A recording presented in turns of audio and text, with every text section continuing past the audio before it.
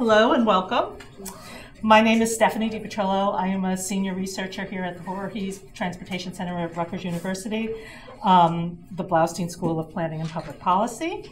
And I lead the NJTOD project, which I do um, in, in a partnership with um, a partnership between Rutgers VTC and the Transit Friendly Planning Program at New Jersey Transit, led by um, Megan Massey, who's here.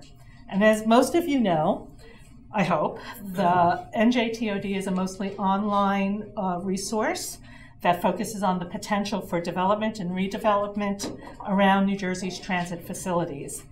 And we work through discussion of best practices and local problem solving to provide information for people to advance transit friendly places. Um, today, we continue our TOD in, in um, Your Downtown Forum series, which we do in collaboration with Downtown New Jersey, led by uh, Courtney Mercer. Um, I want to thank our panelists. See you again. I want to thank our panelists and our moderator, as well as my colleagues at uh, New, Jersey uh, New Jersey Transit um, and at Downtown New Jersey. And we are extremely excited to talk about our talk with our panel today on a topic that I think weighs on our minds a lot, parking. It's been a subject raised at every one of our events, and it is probably raised at every public meeting about redevelopment. I just want to start off our discussion today by offering a few thoughts. These are my thoughts, but I think they probably apply to a lot of people.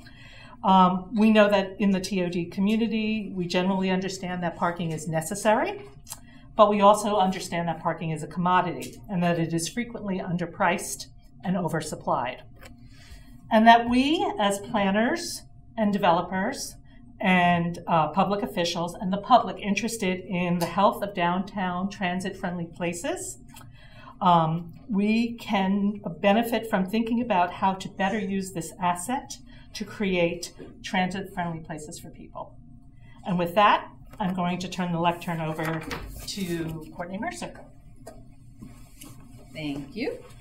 Um, so you can't have one of these without a sales pitch. So those of you who don't know downtown New Jersey, we are a member-supported uh, nonprofit education advocacy organization. Actually started back in 1988 when the malls were decimating downtowns.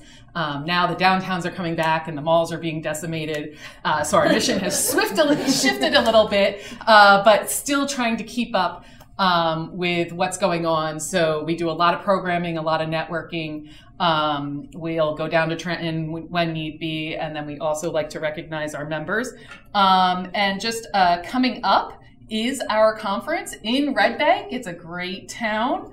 Um, on October 19th, there are postcards out front. I highly recommend you come. It's a great networking event. We have some really good uh, programs. We're going to talk about um, uh, Think Big, act small so so little things you can do to with high impact and then big events. So we're going to talk about the world cup coming. Um, there's supposed to be uh, the, the rev 250 anniversary things like that and how downtowns can capitalize on that. And then also using big data to tell your story. So i think it's all you know good stuff uh, to learn and take back to your community. So i hope you will come um, and so with that, I think actually Stephanie kind of stole some of my my not stole. We we all collaborated. So I'm not going to repeat why we're doing this. I think we all know why we need to talk about parking. Um, and so I'm going to hand it over again. Thank our speakers and hand it over to Zoe. Let me get your thing up quick. All right. All right. Good morning. Can you hear me? All right. Yes. Um, and so, uh, welcome. We already had two welcomes, but I'll say it again. Welcome. Uh, my name is Zoe Baldwin, and I'm the New Jersey Director for the Regional Plan Association. We're the nation's oldest research planning, metropolitan uh, research planning and advocacy organization. And uh, so we're actually 100 years old. And based off of what I believe was our first parking study, um, uh, we've been analyzing parking since the 1940s. And so even back then, our, our planners really identified that parking was not perhaps the highest best use of our urban space. And now, granted, we were like very into uh, parking uh, structures at the time um, in our downtowns, but um, the the point is that uh, being analytical and being critical of parking and the effects of the uh, these antiquated standards, to be frank, um, it's being treated as radical or somehow um, new, and it's been around for a very long time. And so our speakers are going to get into a lot of the details uh, for New Jersey and for what we're doing um, right here at home. But just to give you a scope of the problem, uh, nationally, the U.S. is estimated to have about 2 billion with a B parking spots, which is almost seven for every car. And it's unfortunately not that uncommon uh, for cities to have even 15% of their land area covered by parking.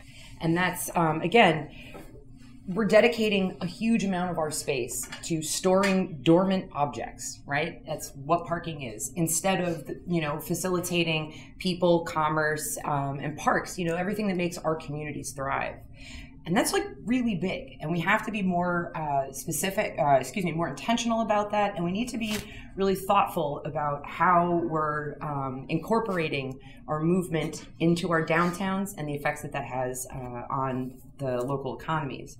And so even more than that though requiring this much parking in statute is unproductive it's unhealthy and it's really expensive and we're going to get into that and so while planners and developers have been kind of waving this flag for a while, um, it's only just now that these conversations in the US are really starting to take off. And so it was kind of interesting. Um, I didn't actually know this until I started preparing for this event, but in 2022, 15 cities in the US significantly reduced or eliminated their parking standards. And to be clear, we're not talking about the usual suspects. Uh, among this is Gainesville, Florida, and Anchorage, Alaska, right? And so, I, you know, I, I, read that and I was like, should I be embarrassed or emboldened that if towns like that can do it or cities like that can do it, uh, which are clearly more car dependent than the entire state of New Jersey, maybe we can actually get this done here at home and perhaps before the end of the year. And so that's why it's so exciting to kick off this conversation today. Um, it's really timely, and I'm going to have an ask of you all at the end of my little portion here. But so, just to let everyone know, uh, in May, legislation to reduce parking minimums around transit stations in the RSIS uh, passed the Senate. And by the skin of its teeth, by the way, 21 votes, the exact number it needed to pass, which is um, frustrating because this should be common sense at this point. And so uh, the bill number is S3605, um, and it's sponsored by Senators Sarlo and Singleton. And they did a great job of making sure we got it through one house. And so now we need to get it through the second house.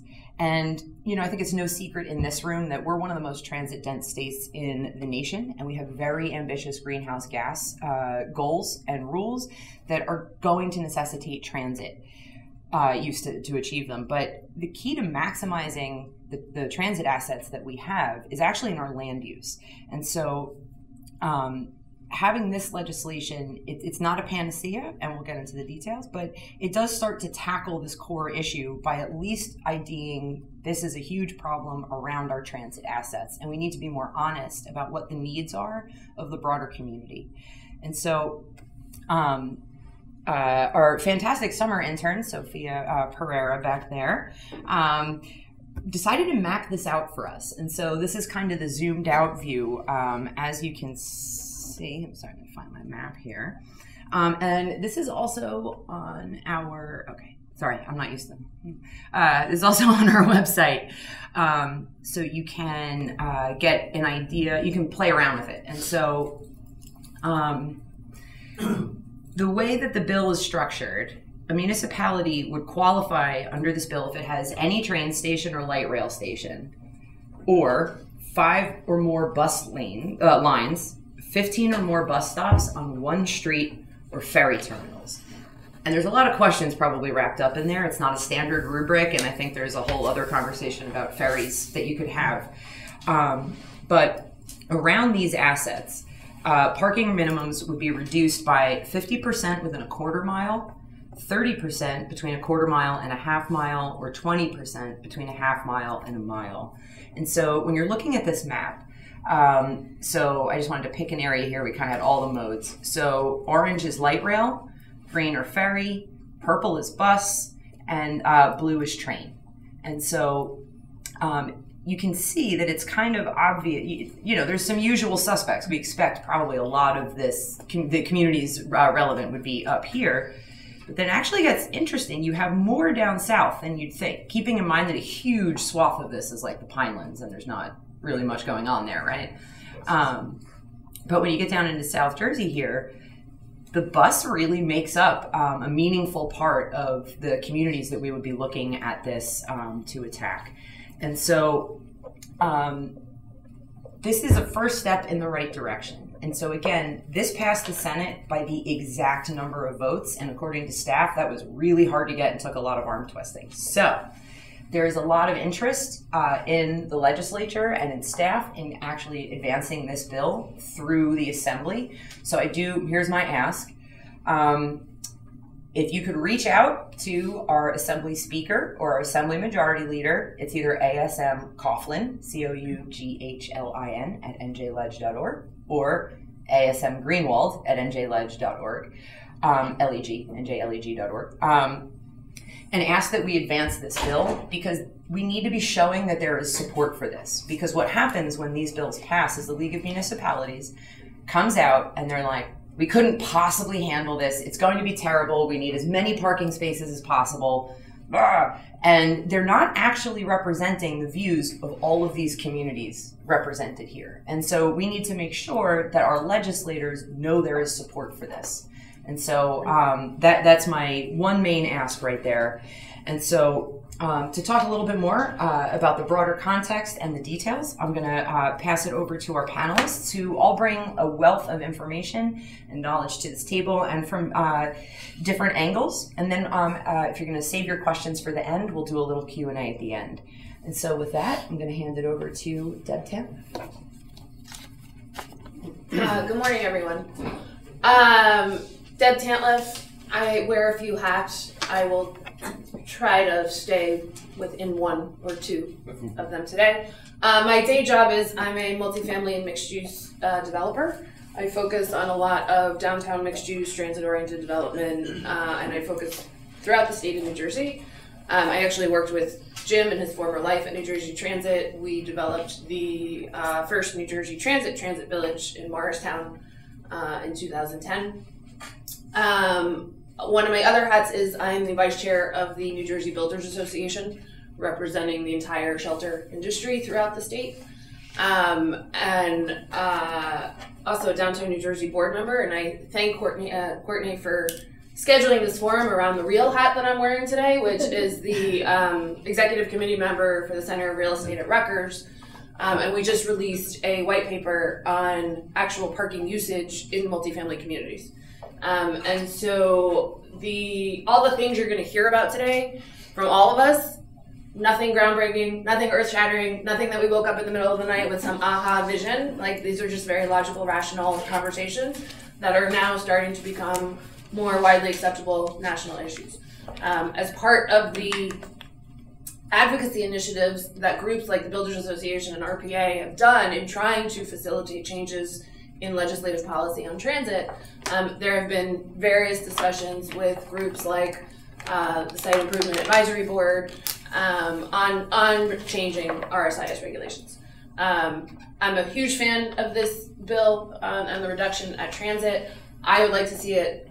Uh, I'm, I'm, also incremental, so my step two is that we do actually wind up changing RSIS.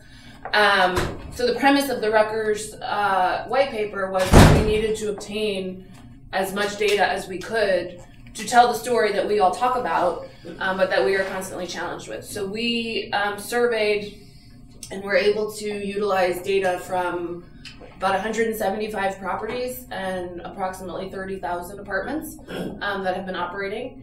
Um, and we're able to qualify the actual usage and correlation of the usage um, based on the unit matrix um, and other qualifying factors in the community. Are you are you transit proximate? Um, are you mixed use? Um, part of the initiative was to again ensure as much data and as much objectivity within a subset of the surveys that we received. Um, we had uh, more detailed data that actually correlated parking spaces based on unit type that we were able to add a layer of assessment to the study. And we also incorporated analysis of census data and car ownership in relation to census statistics. And what we found is nothing earth shattering, nothing we didn't know, but now the math, the, the, the information conveys it. Um, on average, across the board, the average parking ratio on a, on a gross level, number of units to number of parking, is less than 1.2. Um, and if you look at the uh, average of the three um, data sets that we studied the larger survey sample, the census samples, and the more uh, detailed samples from within the survey, we utilize the average of, of the parking ratios and we're able to propose new parking ratios based on individual unit type. And so what we found is that we believe that the blended average, um, which RSIS blends really at 1.9 based on your one bedroom, two bedroom, three bedroom counts, the proposed average would be about 1.4. And so what that means is we are building half a parking space too much per unit. And so when you start to really look at master plan initiatives and redevelopment plan guidelines, take an average 100, 100 unit project, 150 unit project, 70 unit project, you could be building 75, 100 parking spaces too much. And what part of the data of the study show, correlates the cost of the parking and what it costs to build that parking and puts it in context of the viability of projects, right? The ability to move a project forward is predicated on project returns, which have to be a certain threshold to obtain the necessary financing. And so what that means is the cost of delivering that product gets absorbed by the end user. And so when you factor in the cost per unit that you are spending to build that extra parking and you look at average rents across the board, there's probably about 4% of value in rents that are correlated to just the delta of excess parking that we are building. And so if we just on face value said we can build less parking for the same projects, housing naturally would become more affordable because it would allow the base rent to drop by about 4%. And so layering in other environmental considerations um, and and the impacts of structured parking, asphalt, concrete, right? Layering in the realities of trends and ridership today and the fact that Uber and Lyft and rideshare programs are prevalent and that municipalities have their own rideshare programs as well, we really have to think both quantitatively about what the data is showing us and practically going, okay, we live in a post COVID world where people work differently. Towns are being redeveloped differently because every town now is focused on downtown mixed use walkable communities. And people are naturally driving less. There are less driver licenses being issued. So why are we still using regulations from 1776? Right. Um, so with all that, you know, the re- you know the rest of this conversation um, is really going to, I think, speak to creative ways that logic has already prevailed on successful projects and ways that we should be thinking about planning and, and, and governing going forward to address the underlying realities that we already know. Um, but now there's a concerted effort that's willing to address them at a regional level and a municipal level. And with that, I'll stop. That's excellent. Thank you. Uh, my name is Jim Zullo. Uh, I'm the president of THA Consulting.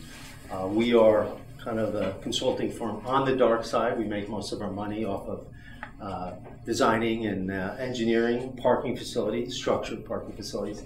Uh, was a former uh, director of the New Brunswick Parking Authority and a former uh, director of real estate at NJ Transit. So, been around parking and, and, and, interacting with parking for quite a long time. And I'm a, and I'm a Bloustein grad, and I think one of the early books I read, Edge City, if you ever read it, says parking is the pivot of urbanity. Always has, always will be. But uh, um, so it's a really excellent discussion, and a lot of you know we work with a lot of developers, and the key you know you know parking is very expensive. Structured parking is probably you know given a lot of factors, uh, but easily over thirty thousand dollars a space for a efficient standalone facility.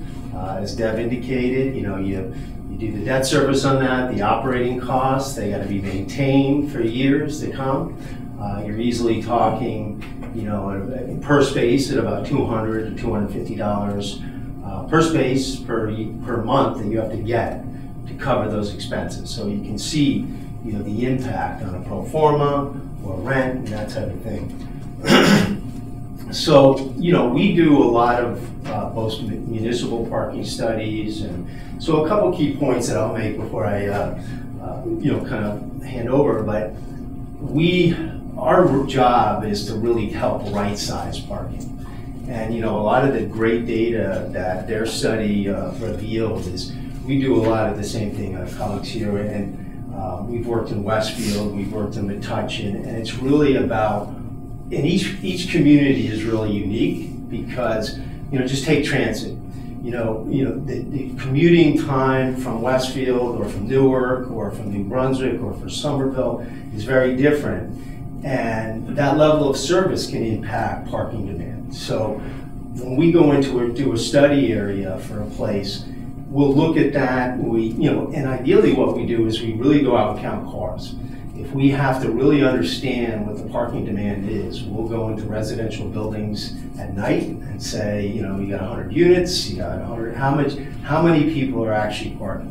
And we're doing this not just for trains, train-oriented towns. There's a Hamilton Street here in Franklin Township, if you're familiar with it, has seen in the last 10 years hundreds of units of multifamily, where before it was really two levels.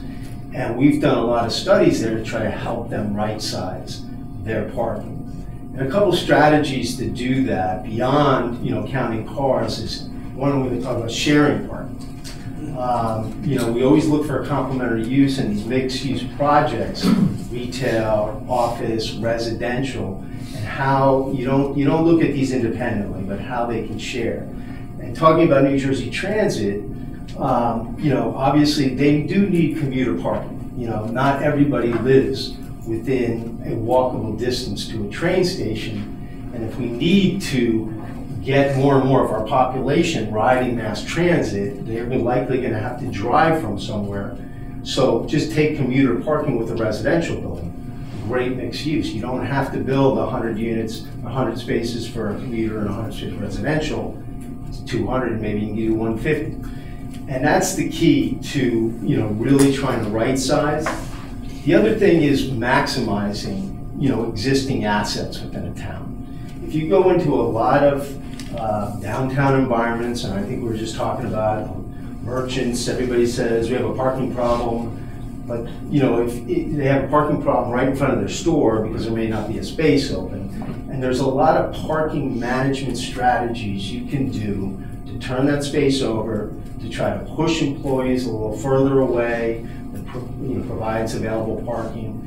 So it's, and you can look for other assets that may exist at churches and underutilized facilities and this. So before you go vertical with a structure, it really is key for them to look at what other assets can be utilized, how their operations can be maximized to accomplish this. Then if you, you know, then if you do have to do, and what other, you know, in addition to, you know, mass transit, we've done a lot of work in Westfield with, um, and you know, but what other micro mobility assets are available? So, you know, if people do live a mile from the station, you know, what can they do to get there? I, I, I think e-bikes are going to make a big difference. You know, everybody's they've been scooters, there's been bikes, but you know, e-bikes are really are really uh, comfortable. They're, you don't sweat when you use them. It's uh, so I think maybe they could have a little bit of a transition where these great towns. Deb mentioned um, um, uh, publicly funded or uh, in Summit where they did, instead of building a new garage, they subsidized Uber and Lyft rides to their station, uh, which uh, worked really successfully for them to kind of not have to build a new facility. So, um, you know, those are a couple points that I want. And the other thing about developers, it's interesting because, as Deb mentioned, the last thing they want to do is build parking and spend that money. But when you start, well, when you start talking about shared parking with them, you'll be surprised at how many say, no, no, no, I, I, my, my tenant's got to have space right there, and they got to have that assigned to them. And we're like, well, you know, if you're gonna do that, you're gonna have to build more parking. And, and some of them will even say, well, if I gotta market, I gotta get financing, I'm gonna have to have a dedicated space. And these are really, really big and savvy developers that I'm surprised, because in New Brunswick here, you know, which has done a lot of urban redevelopment, the parking authority provides a, you know, good amount of parking. And building can, if the parking authority has available capacity, developer just has to go and say, yeah, you know, we'll, we'll, we'll give you 50, 100 spaces, whatever it needs. But they're sharing them. You know, they're not getting a dedicated space anywhere. And a lot of towns like Morristown things like that, you know, that's, you know, the smart way of doing it. And, and I think that's some of the mentality that's got to change as people move into the urban area or the downtown area that you don't, you're not going to get a dedicated space because as mentioned, that space could be vacant, you know, 60% of the time. And, and just one other thing related to COVID, you know, with more people working from home, you know, you have to kind of rethink shared parking analysis. Like we've gone, if you look at ITE or ULI, the suburban environment, they'll say 50% of the residents are going to leave from 8 a.m. to 6 p.m. so you can share that parking. When we look at it now, we're looking much more conservatively because a lot more people are staying at home. You know, transit ridership, I think, is only back to 50, 60 percent, hopefully more. But yeah, yeah. But, and we did track that. We, but we were talking about it. And you know, that's going to be Tuesday, Wednesday, Thursdays. Obviously, is going to be peak, peak times. So there's a lot of dynamics. Just to kind of wrap up a little bit of my com- comments, that every every kind of town is is individual, and you really have to look at some of the, the transit assets and what, what's available, and you know do some due diligence to kind of make sure you're you're parking at the right amount. And because what happens too if you don't, and even in, in towns where you see parking minimums, because we like Hartford, we did a parking study in Hartford, which which was an early town to go, you know, no parking minimums. Well, what's happening is developers are building and people are inundating the streets. So now parking spaces that were designed, you know, intended to be available for downtown businesses and restaurants are having residents lock those up at five o'clock at night. And unless you're enforcing that to try to push them to wherever they're going to be. So that's just a consideration. I, I think parking minimum, you know, or no, no parking minimums are great but there's, they're gonna potentially have some impacts on the overall area if it is, you know, kind of in a downtown type of setting, that they may be, you know, there's gonna be people that park, you know, and, uh, so, and, and another thing, like, un- you may have heard a good parking strategy is unbundling the parking cost from rent. So that means, you know, if I have a car, I should pay more, I, I, I should pay for my parking not as part of my rent, but as a distinct, uh, you know, separation, not married into the rent. What happens, especially with young people, they go, I'm not pay hundred and fifty dollars for parking in the garage, and they say, I'm gonna go park on the street, and move my car. So these are just some of the things you have to be aware of, but as, as we've talked. I need to counter that point one second, because I'm having this issue in a municipality, and they want, part of the approval is obligating the developer to incorporate Yeah. one parking space per unit as part of the lease. The developer is still going to charge for that parking. Yeah. You're, the developer is going to artificially inflate the rent and charge for that parking. They're also going to wind up absorbing the parking that they would be charging the affordable units that they can no longer charge them. So it is going to artificially inflate rent. Because the council person does not want to tell the local constituent, okay, sorry, you lost the parking space in front of your house that you weren't using because you actually have a garage and a driveway, right? I'm sorry. No, but, no, that's fine, and I'm an Yes, we advocate, for- I'm an advocate for, for unbundling parking. It just requires a higher level of enforcement Yes. on the street so that you push, pe- you know, so that you are making the parking that's supposed to be intended for commercial businesses available that, look, Absolutely. overnight, um, anybody can park anywhere, but I think, you know, as a kickoff point, that's, what's, you know, some of my comments and look forward to answering any questions. I'll turn it over. Thanks, Jim. Hi, um, I'm Jeannie Kim. Um, I am city executive for Arcadis, um, and I have to explain that. I am sort of the chief growth officer for Arcadis New York metro area, and Arcadis is a big global engineering and design firm. Um, I am not a resident of New Jersey, so I'm sort of the outsider here. But um. I, yeah, but but I'm, I'm on the board of the RPA, so I'm kind of got that regional um, perspective. Um, so so I have to kind of talk about my background to you know get into my perspective on this topic. Um, I've been a consultant for 20 years. I spent 14 years um, at a traffic and transportation company in New York City.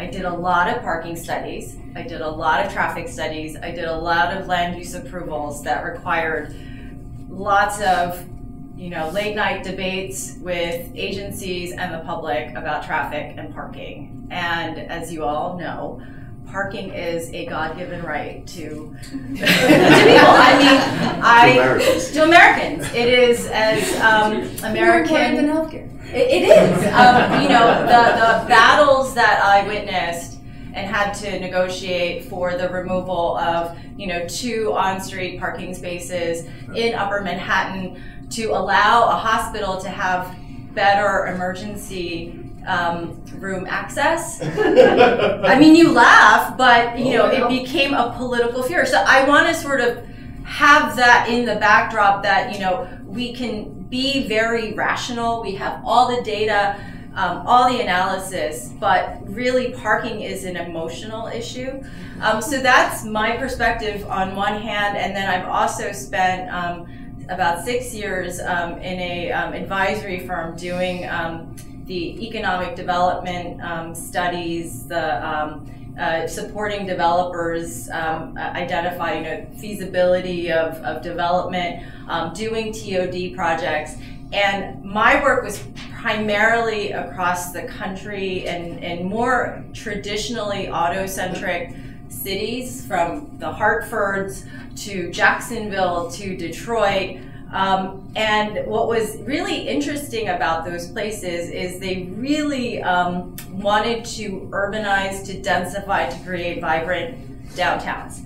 They saw TOD as the answer for, you know, I'm sure you're all believers, you know, the virtuous cycle of the TOD um, supporting transit through farebox revenues, um, added ridership, and then the development itself really becoming that economic driver for downtowns.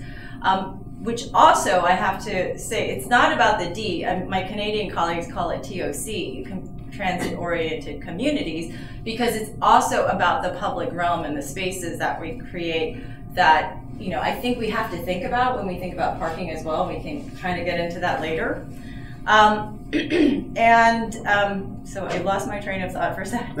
but um, so so that's how I see parking, and, and then I spent a year at New York City Department of Transportation where I saw more fighting about cars and, and parking. But what I noticed that well, while I was at DOT in 2021, and Jim, you referenced this COVID point is that um, you know Americans' relationship with the car changed during COVID. In New York City, we saw a 40% increase in auto ownership.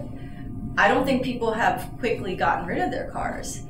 Um, I think there is sort of a different relationship that people have had to their cars everyone's behaviors have changed and it's not just about work but it's also about sort of the flexibility built into your lives. Um, even as we go back to transit there's certain kind of covid era behaviors um, and and you know that that sort of we have to recognize.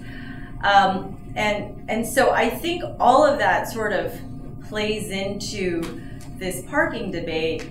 Um, and you know I, I don't think um, it's easy but at the same time i think you know we've definitely evolved. I mean new york city granted i would say most development in new york city is tod but recently the mayor announced um, lifting um, some outdated zoning rules where you no longer have a parking minimum for new development um, I know it's been done in other cities, but I think to have that sort of blanket policy in a municipality as large as New York City, where it, not everything is dense as Manhattan, is a sea change. Um, I, I, you know, I, I, I think that and then going back to my comment about TOCs, you know, I'd love to have a conversation later about um, sort of the innovative ways um, we can think about um, parking policy and also the financing piece. So, you know, PILOPs, I love that term, payment in lieu of parking. Um, you know, how do you think about parking at a district level? How do you have um, stakeholders pay into a parking fund, right? Where you know you're thinking about usage on a more district-wide level, and then having those funds then pay for the public improvements that ultimately benefit the community and generate broader returns um, than at the sort of individual site level. Um, so those are my thoughts. I'm sure I'll have lots of other thoughts, but I don't want to take up too much time. Oh, no, you're good. Thanks. Um, hi, everybody. I'm Kristen Mitchell. I am Director of Transit Oriented Development at New Jersey Transit. And uh, our office is in the real estate division, which Jim used to head.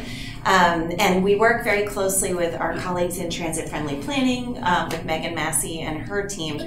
But our group works on uh, real estate development projects on land that New Jersey Transit either owns or has a controlling interest in. There are certain um, places in the state where we have um, rights uh, where, where the there's an easement that says that the, the land has to be used for parking um, forever and ever. Amen. um, so we work on projects in those um, areas where we own or control um, some aspect of the land.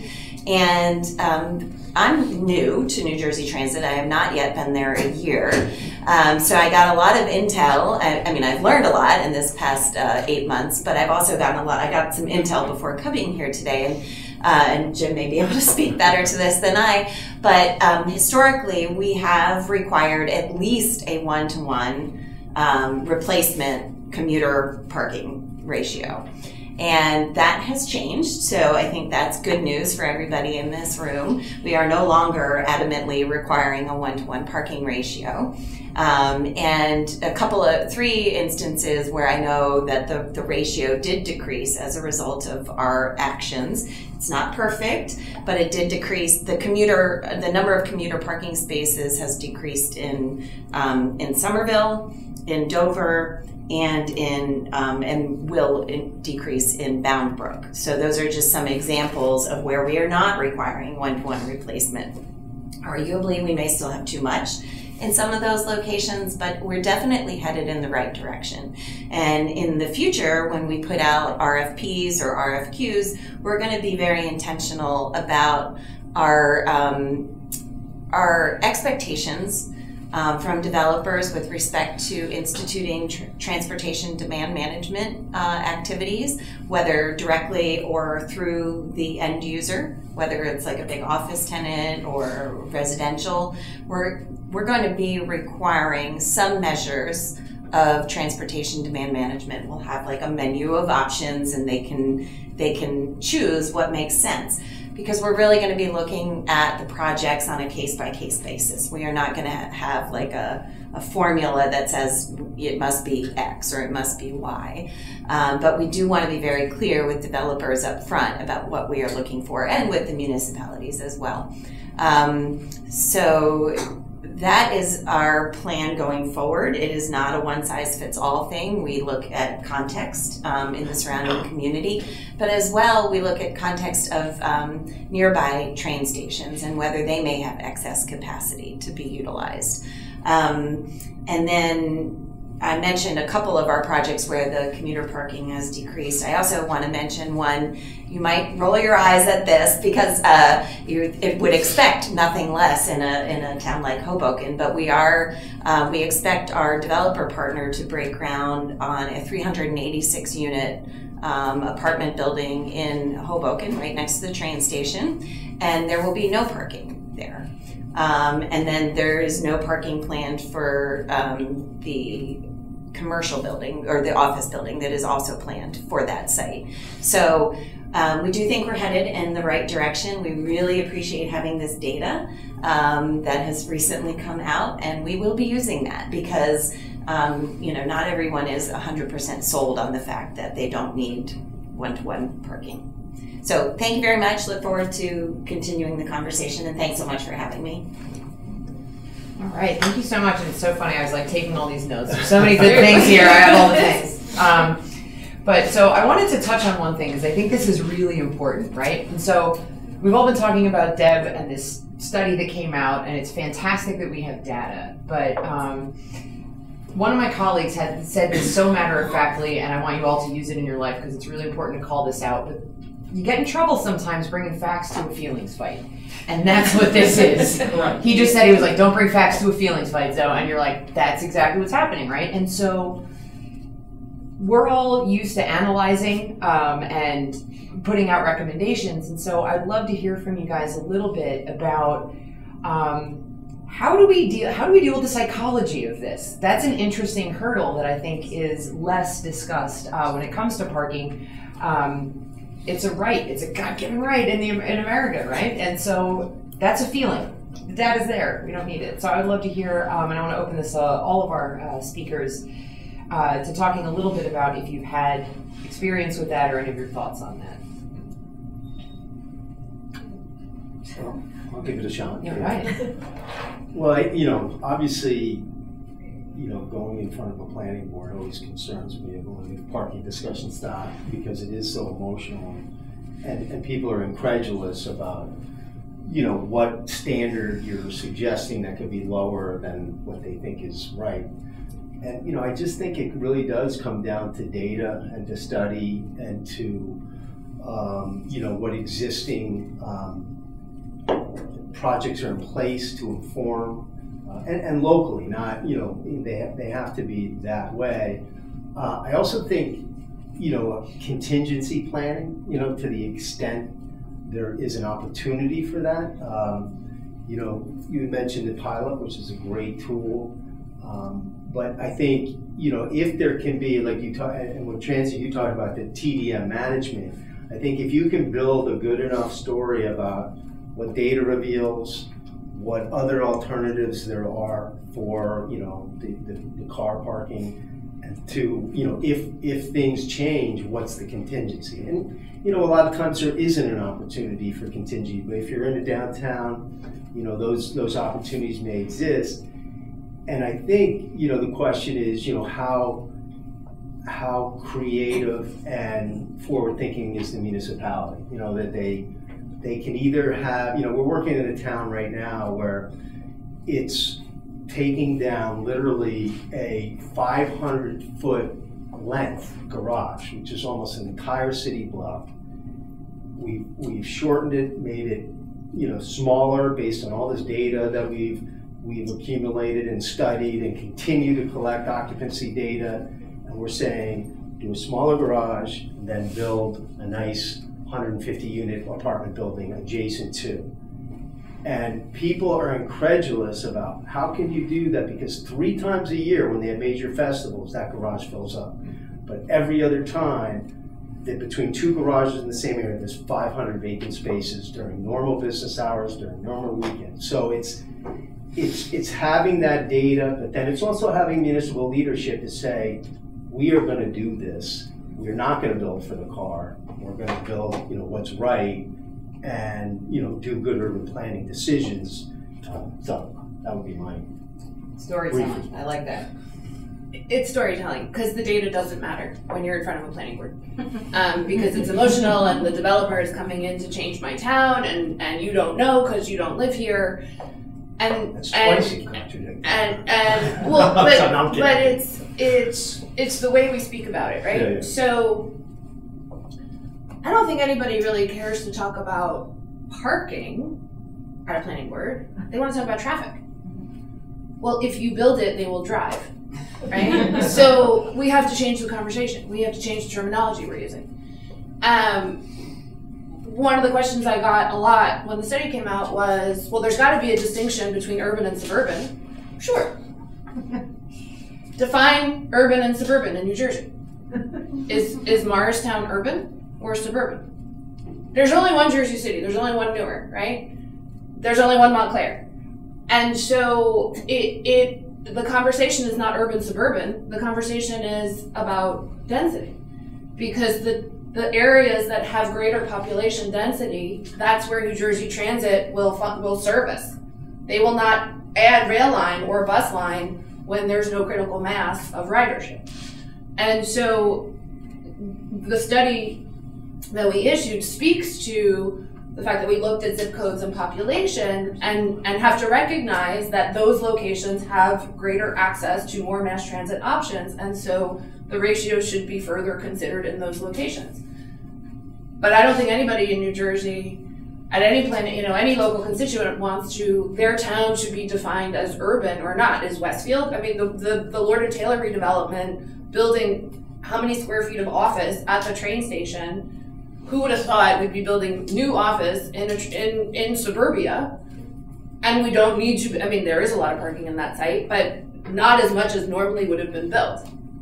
And so I think, I think it is the way that the development community is perceived.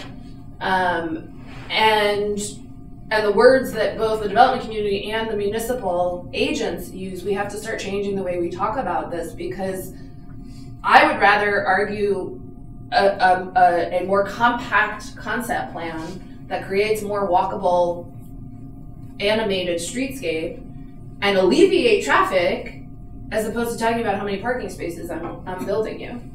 Because um, people can get on board with that conversation, right?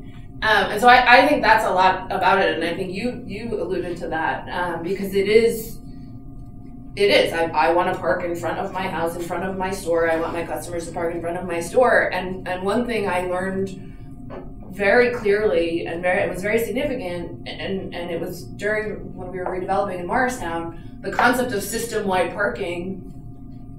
It, it's it's a pretty compelling concept. I mean, downtown Morristown, you've got several major municipal parking garages adjacent to the public open space in the middle of town, proximate to the theater, right, along all these different restaurants. So if you can't park in this garage, go park in this one, half a block down the road, and your walk is 45 seconds longer, you know, and that conversation doesn't happen enough. So I really think it's about the way we talk about it as opposed to only focusing on the data because data is quantified and it's tainted and it was a you know and and that's not true. And there's no way it can be right. I think I, I think I won't talk about the getting past the planning board because that's its own issue but um, I think because this is a this, we're talking about psychology now which is behavior.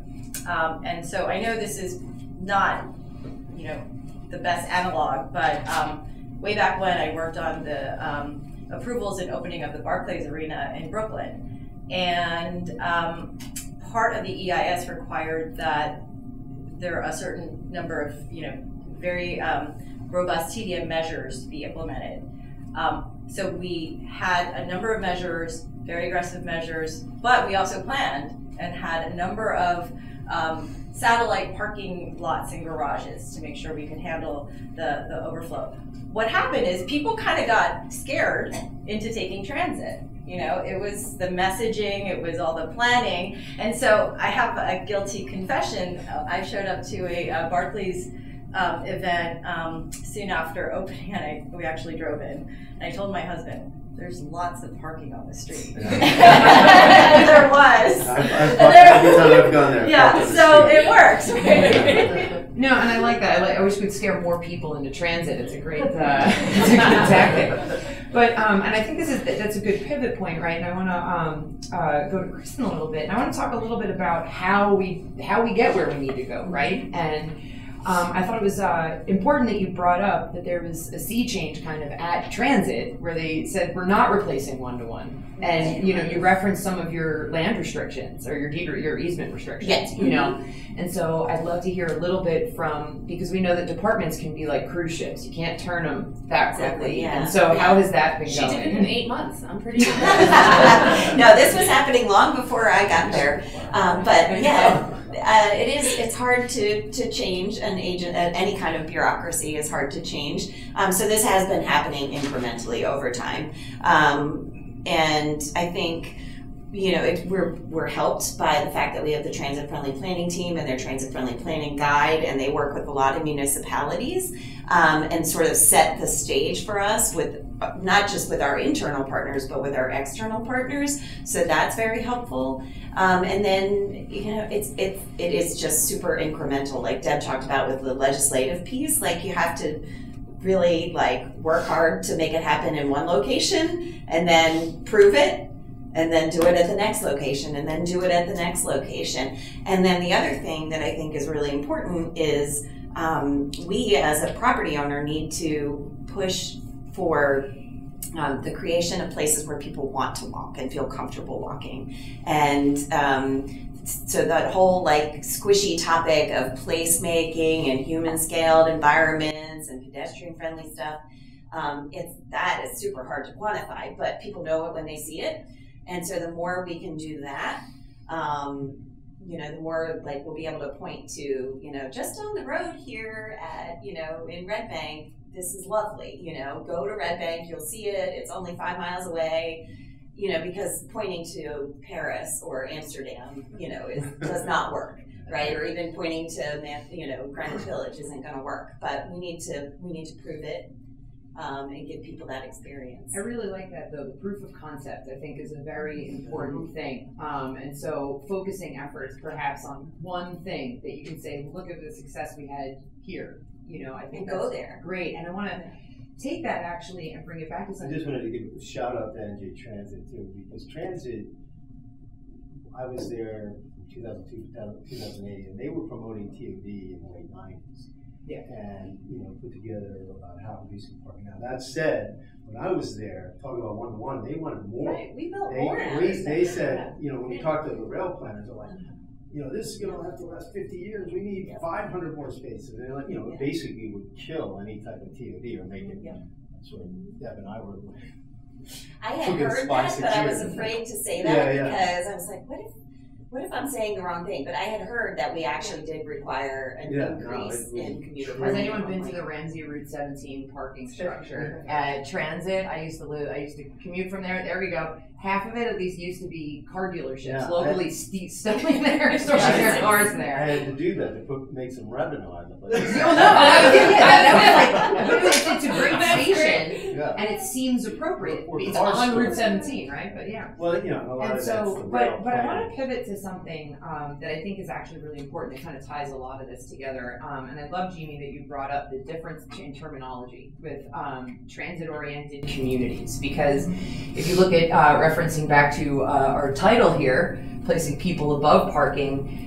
I didn't actually think of this until you said this just now, but using the term TOD even is we're centering the built environment. We're not centering the outcome, which is great communities and healthier communities and uh, people, right? And so um, I'd love to hear a little bit more about um, some of the policies. You know, you discussed the PILOP, which for the record just sounds like a pileup, which is just strange. Um, says it was weird to say. Um, but uh, PILOPs and some of these that we've seen some success with um, that kind of have helped us get to that human focused um, Um, I mean, I can I can talk about maybe the TO. I haven't actually you know worked on a PILOP, Okay. um, but I have um, been part of um, transit centered economic development strategies where um, White Plains is a great example in New York. Um, where we came up with, you know, how do you, you know, a, a scheme to pay for public realm improvements, right? So commonly known as tax increment financing or other types of It's redevelopment area bonding in New Jersey. Okay. Because we have to be different. But yeah. well, everybody calls it something different. There are different mechanisms, but really, you start with drawing your boundaries, right? And those boundaries are um, the entities that will pay into this fund because the benefits are going to happen within that boundary. So it makes perfect sense, right? It's like you're all going to get take advantage of this collective benefit that the public sector will advance, but the private sector needs to contribute, right? So parking is part of that shared benefit. That wasn't necessarily part of the White Plains strategy per se, but I think that is sort of the way you think about it. Um, and so uh, you know, again, I think I don't know why it took me so long to think about TOCs. It was because you know we had to. Yeah, I had new colleagues from across the border who said, "What are TODs? We call them TOCs." Yeah. No, and that's interesting. And reframing it not only as a human thing, but as a public benefit. Um, you know, and so I would also like to just open to everyone just to hear. Um, are there good examples that we can share um, of either New Jersey or the region, just to, to again proof of concept? We can take them into our arsenal. Well, I think Rahway is an excellent example. I mean, Rahway was a kind of a multitude of different surface lots, much of which was commuters from out of town. And Rahway made a decision, we're gonna, we're gonna consolidate our parking into a structure. And oftentimes structures are necessary to achieve density on other areas. You know, obviously surface parking is, if, if parking's not the highest and best use, surface parking is certainly not the highest best use. So what they did, and to their credit, uh, and this was a great partnership with New Jersey Transit because they said, look, we really focus on our residents. They need to commute, and we're going to build something that would support that. However, NJ Transit, there's a lot of people that were coming from outside of Rahway to use that as a facility. We will, if you, you know, if you want to contribute to this garage, we'll do it and accommodate that. And long story short, you know, by doing that, they had four or five other development sites that they were able to put out, that they were able to then say to that development site, you don't need to build your parking there, contribute to our facility and you can park here. And so, to that point, you have a centralized facility that supports, you know, six different projects. And if you've been to Rahway over the last, you know, 10 or 15 years, it's, you know, not this, that's part of what helped transform it, but it's, it's been transformed to really model TOD 10. I love seeing Rahway out, the, out of my train window, but uh, I, I, think another good example is Metuchen, where they allow shared parking for commuters and um, residents and people um, patronizing businesses downtown. Well, really um, Oh, hello. Um, and also, I believe, correct me if I'm wrong, um, that you also you do allow payment in lieu of parking. We have we did one development, that, but it kind of bad connotation. Oh, dear, okay. so do payments in lieu of taxes, I get you. Um, I think, I think there, you know, Hackensack was one of the first communities to introduce PILOPs. Um, Jersey City was one of the first communities to introduce parking maximums, right? And so it doesn't have to be all or nothing, right? But maybe maximums are a better way to start framing the thinking that the community is realizing there's some parking being built, but, right? It's no different than the developer should be the one responsible to define the unit mix of their building, right? It's my job as a developer to know what the market demands. How many one bedrooms, two bedrooms, what size should they be? And that's not something that should be left to municipal planning, right? It, it's, it's my job to build the, the product that will meet the market, and so it's my job to also realize that parking is part of that component, and so it should right size. No, no, go ahead. I didn't know how we could participate, but that's what, that's what I don't understand. I'm from Asbury Park. And if a developer comes in and is willing to build a hotel and doesn't care that there's not gonna, in the planning board or the city's opinion, going to be enough parking, why do we care? Let them build a hotel. Am I missing something here? Public opinion. Perfect. So, um, yeah, so, um, I did wanna have a few questions before we Okay. open up, but I will, I will address this though, but I And will that's say. what what you just said. This, it, it goes back to the, the first thing, and I'll speak directly to Asbury Park, I live in Neptune, um, which is the town next door. Um, Asbury Park did the thing a lot of towns did in COVID, where they shut down Cookman, which is not, it's a main street, and it's totally not necessary for circulation, like, at all. And, uh, the second COVID was over, they were like, nope, we're not doing that again.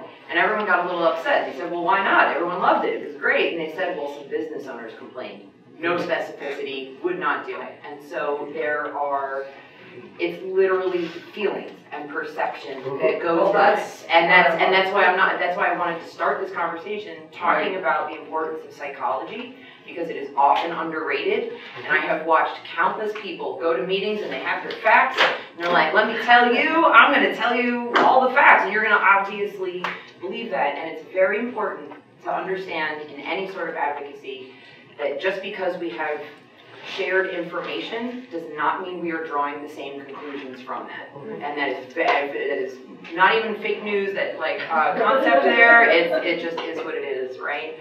Um, and so, I think we can get into that a little bit more, but. I just want to add Yeah. one point so that, that I think bridges the divide, right? Municipalities do not take enough advantage of the power of what having a parking authority can do for them. True. And, and if the parking authority, you have the municipal agent, you have that public entity facilitating this on the town's behalf, right? It's not the developer, big bad greedy developer coming in going, this is my, this is what I want, right? And this is what I got over on the town. Having downtown special improvement districts and business improvement districts is critical, right? It allows for those shuttle service systems, right? And so the conversation is also about critical mass and who can pay into that intermodal system of transportation. So sure, it's very easy for the planner or the mayor to tell the developer, we'll just shuttle people to the service, to the train. That's hundred thousand dollars a year. Versus if we have a bid, we could set up a, sh- a shuttle service that drops throughout the downtown and all the apartment buildings are paying into it and some of the business owners are paying into it as well, but it's servicing everybody. Um, so Port Imperial, which is Hudson River waterfront, and it's not urban, okay? It's waterfront. It's there's there's light rail and there's ferry, but it's just horizontal density. It is a master association of 6,000 units paying into a shuttle system that brings two miles worth of properties to and from the ferry with a bridge over to the light rail. But that's thousands of units paying into that. And so when you can set up the municipal structures um, and have those administrative parameters in place, it's not always coming from the developer, but it is that, it is that true public-private partnership that it is also carrying the, the municipality's planning vision forward. Um, and, and I don't think enough towns realize the power of an authority, and, and some settle for a utility, and some just aren't even sophisticated enough to, to, to have them or need them. Um, but if everybody wants downtown walkable downtowns, I suggest a parking authority. Yeah, that's actually a really good point. I think a lot of you who've ever worked uh, for nonprofits and you're like, oh, I would love to do that, but my board, you can point upwards and just remove some of that pressure from yourself. Um, and so I do want to make sure we have time uh, for Q&A, but I thought it was really important just to um, address, uh, just going back to some of the legislative regulatory change, because that's kind of like on the, on the move right now, hopefully. Um, and so I just wanted to um, open up to the group a little bit to talk about what would be the impact of an RSIS change?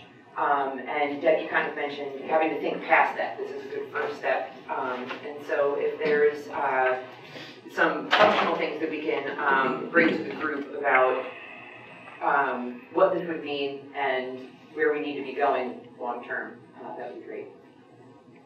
Practically speaking, all things being equal, less parking, less cost to build that, that means there's potentially, right? Automatically, there's reduced rent. There's also potentially reduced conversations about how aggressive of a pilot and tax abatement the developer might be, right? All things being equal. I can't sit here and say what should be done with the rest of the footprint that you don't need parking on. But that does allow for open space, right? It does allow for more community amenities.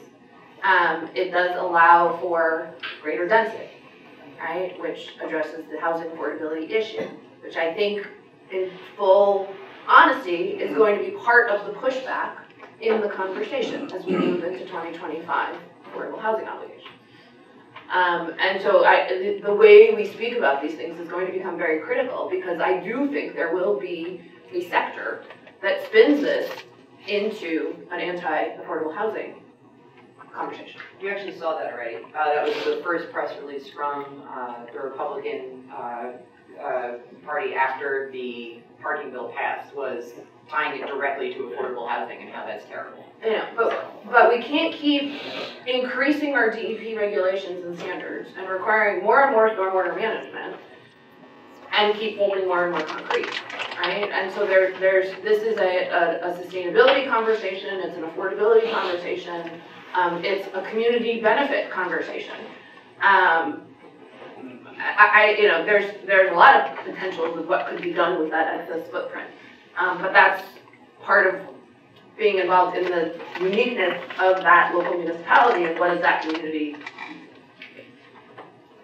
Yeah, I I would just add, kind of to your point, you know, developers are, they're always, they're not but the, uh, but, you know, they know, they, they know what they have to do to get financed, to market, all that, and, you know, and it cuts both ways, you know, I've, you know, obviously, I think there should be some more reliance on what their expertise says they need.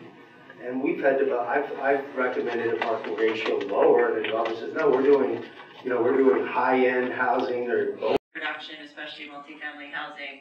And um, if New Jersey is able to provide more um, and provide, you know, that transit-friendly um, option, you know, you're going to, I mean, developers know who you're going to attack, right? These are, and, and these are the folks who may not have thought of New Jersey, but you're going to go and check out a great product in a great community and um, I think that just is a huge economic driver. Yeah, I would agree with that. I think the benefits are, you know, can be broad, they can be economic. There's certainly uh, sustainability benefits, um, affordability benefits. Um, so I think, and it will also help us as we work with developers um, and, and try to push for lower parking ratios in the in the private aspect of the development. Those lower um, requirements would be very helpful. Absolutely. Believe the irony of how much parking the transit building has is not lost on me. Things like four floors of parking. Um, no, But it's, just, it, it, uh, not that, No, no. but that's also a result of the planning of the rail system. They anticipated that that was gonna, uh, the, you know, and have a significant pull of people to that area. So it's not that. oh, I mean the transit office. Oh, I- I- I itself. thought you were The I thought you were headquarters of NJ Transit where Route people park. 17. In Newark? No, no. In Newark, Yeah. the one that had Blue Cross Blue Shield? Because Blue Cross Blue Shield used to occupy that building and had like four hundred to a thousand vehicles. Oh no no, I, I know. I was Yeah. just making a joke. Yeah. Um, and so um, I do want to open it up to questions. Um, and starting with coordination. Very. Uh, I just want to say, because we always. Who needs to set up a bid? Who needs to set up- wanted to set up a bid, I'll, help you. Uh, no, I just want to also say, like, these conversa, we, we hope that you will be conversational as well, so if you've had a lesson learned, please feel free to share that. Um, just don't wax for twenty minutes. Um, but please do. But I, and I'm gonna do exactly that, and we're talking about Asbury Park and Clifton Avenue, and using Jersey City Newark Avenue as an example. You know, first of all, they started as tactical urbanism, um, shutting, shutting down, first it was one block, then it was two blocks, then it was this and that. But I think using data to tell the story, to make it less emotional is important. Um, so, so that you don't have those people who come, the, the two business owners who want their parking spot to stay. I talked to, for example, the hardware store who, by the numbers, said, I, when they shut down that first summer, I had more business, which makes sense for a small little hardware store. Nobody's, you're going to Home Depot if you need to pick up the stuff with your car and your truck. But for the little stuff, just having to walk by, oh, I'm gonna pop in the hardware store and grab whatever, I need new keys, I need this hammer, whatever. And his business went up, I think so, if you have a bid or an economic development officer, or whatever, when you're going to try these tactical urbanism exercises, I think it's important to try to get your businesses to give you the data so that you can support and say, it was a success from an economic standpoint, and that's why we need to do it. Um, and now, you know, the, pedestrian mall, it was, you know, we had vacancies, we had this, and it's, it's great. The businesses that are there, it's thriving, and it's because this bid and the city took the leap to do it. So that's just my little story about telling story with data. It's true. Yeah. Tim. Yeah, picking up on, uh, coordinate's point, I'm gonna directly contradict your friend Zoe and say that you all should continue bringing facts to, to, uh. Fair enough. I'm in the business of producing facts for other people to bring to Feeling Spice and, uh, I want to encourage you to keep doing it. And on that point, um, Kristen, I, I, I, I, I hear your point about it's really hard to quantify what walkability looks like, but I've actually tried to do that. And I feel like I've done a serviceable job because when I compare it to things like vehicle ownership, the relationship that you would expect shows up. So maybe we should compare notes about like what other kinds of data you've got that I could compare to my metrics of walkability. And even Deb with the, the new study, maybe we could compare parking usage to my measures of what the development pattern looks like and produce some more facts to bring to the next dealing point. This is exactly why we have these. And I do want to clarify that I was being a little flippant with that. And so I think the key here, though, and what we got out of the conversation following that is taking the facts and not just presenting them as these are the facts. You have to weave a story. You have to tell the human side of this. And again, people over parking, right? We need to center the humans and the in that. And I'm sorry, uh, there's uh, some behind you. Yeah, I'm Asbury Park too, Asbury Park from Blue Streets Coalition, and I love great. hearing the connection between Red Bank, Jersey City, Asbury Park. We really are all connected by, partly Mike Mandela, who Asbury went to, um, went to Jersey City. And one of the things that he described to us when we were up visiting, had lunch with him, was that, um, quick build, you know, he, being bold and making a decision to do something, knowing that, that it works and that a larger, sometimes quieter part of the community really wants it. The people who don't want things are much louder. The people who are the negative amenities, they really make a lot of noise. And as you mentioned on Cookman, which I like to refer to as the Cookman Street, not closed.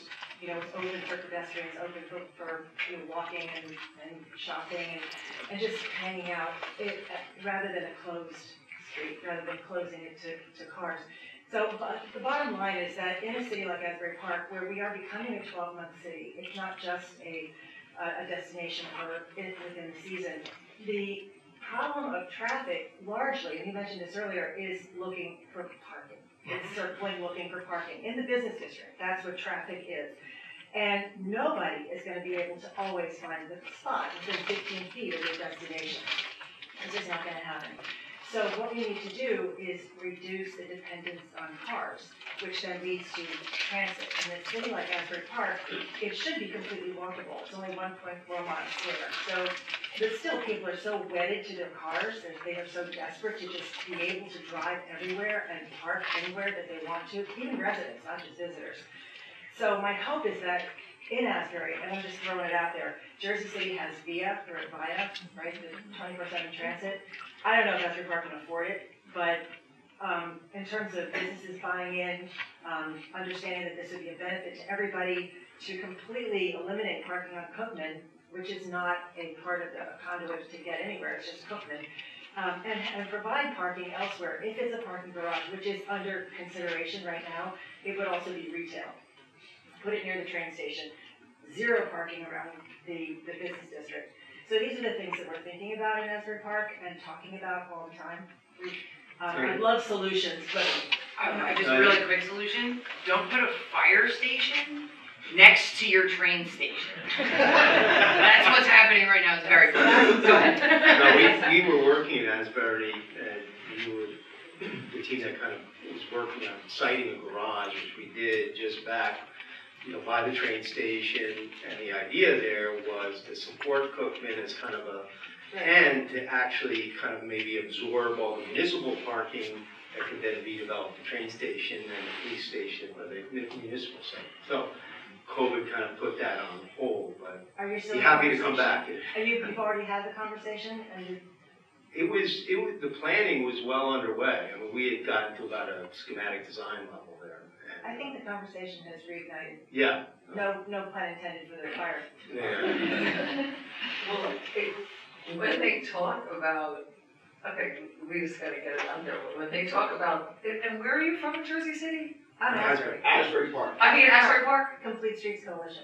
It's, we're an advocacy group for walking and rolling and. Oh, well, I'm the, um, urban enterprise zone business development person, so. Let's talk, I've been thinking, I've been talking to Red Bank too, I'm glad to Okay. visit Red Bank, yeah. So, so, when, and when I was thinking about, when you were talking about the emotional, and you hit right on it, the first thing, um, here's the problem.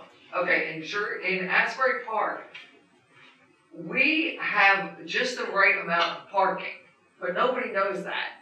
Because my son studies with, um, um, the man who wrote The High Cost of. Oh, Yeah, uh, and I love every time, the, the highest time in Jersey, in Asbury Park, when I'm driving down the street and I see a car pull out, then I see a car pull in. I've never seen like all the, and the only traffic that is created is from people driving around looking for a parking spot. So everybody here seems like they will, and, and the state in general, and, and maybe through the country, we want to reduce parking requirements. I think you might be overestimating. Okay. well, we wouldn't be up here if it was. Okay, well, definitely not in New Jersey, but, but I think learned people, uh, the thoughtful people know that that we pulled these parking requirements out of nowhere and they're, they're not supported by the data, so we need to decrease them. But in Asbury, they're already decreased, so we can't go the other way and start increasing them because that just doesn't make any sense. So about the garage, that, okay, they think that the, um, traffic coming out of the garage is gonna be just over the top. I would go to Montclair. They did a really good job with that. It's basically the same cost as street parking. And um, I remember before that, it was residential neighborhoods are getting a lot of parking. Like that garage, I, I haven't, I don't use it that much, but like when I lived in North Jersey, I remember that being a really great option, you know? Um, because it was so bad, uh, I would actually ride my bike from Newark when I lived in Newark for a long time uh, to Montclair because it was much easier. And so I want to get someone new back here. I'm from Montclair. Ah, look at this. Better did. And we have, we don't have a parking problem, we have a perception problem.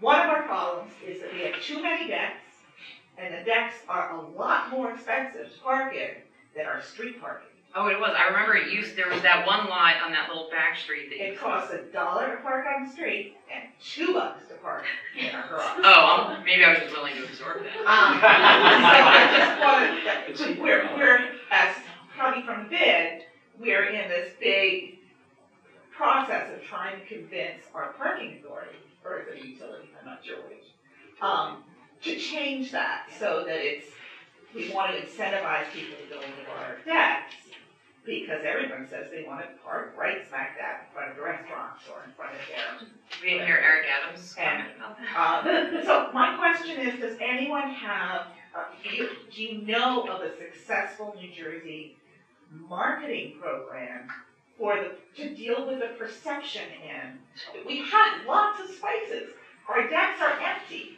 as you said, most of the time, except for two really large events. You, almost every time you can drive right in, find a spot, be out in a second, um, as opposed to driving around in circles.